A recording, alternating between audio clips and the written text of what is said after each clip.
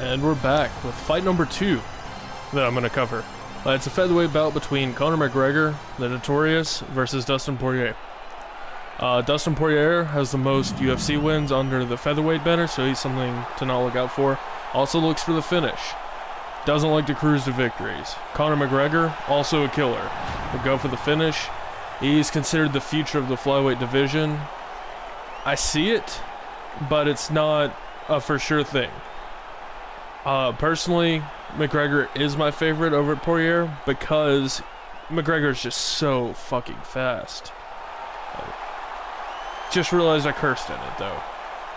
But he is, he's fast and he is strong. He will always look for the kill. Technically sound, he's just a little raw, is his only issue. As you can see, the height similar, the reach advantage actually goes a little towards McGregor.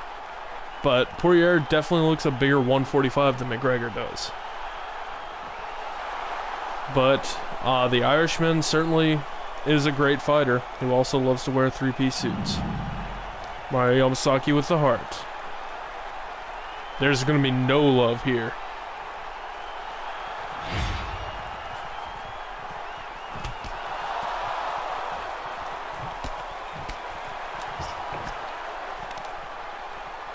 There we go. Started out with where he's strong.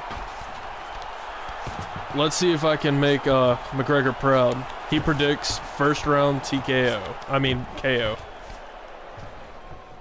By him, not uh, Poirier. Man, Poirier is smothering. Mmm.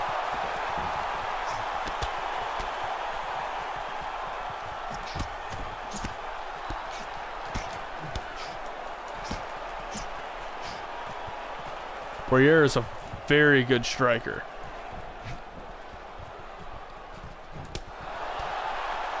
But one thing to look out for is the kicks that Gregor throws.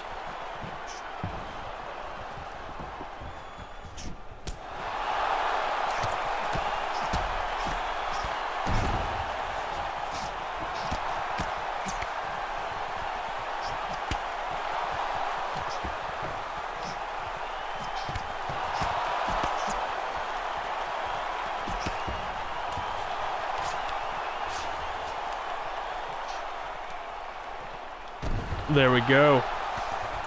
Let's get up. I remember uh, Poirier definitely smothering me on the ground.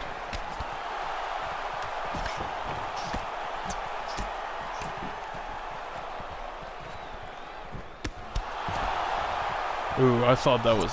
Oh, God.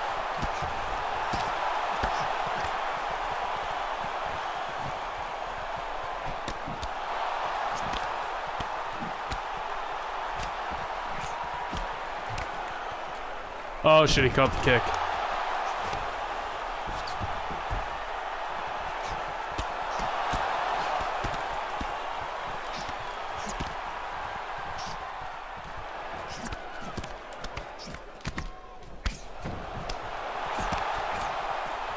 Absolutely a phenomenal fight.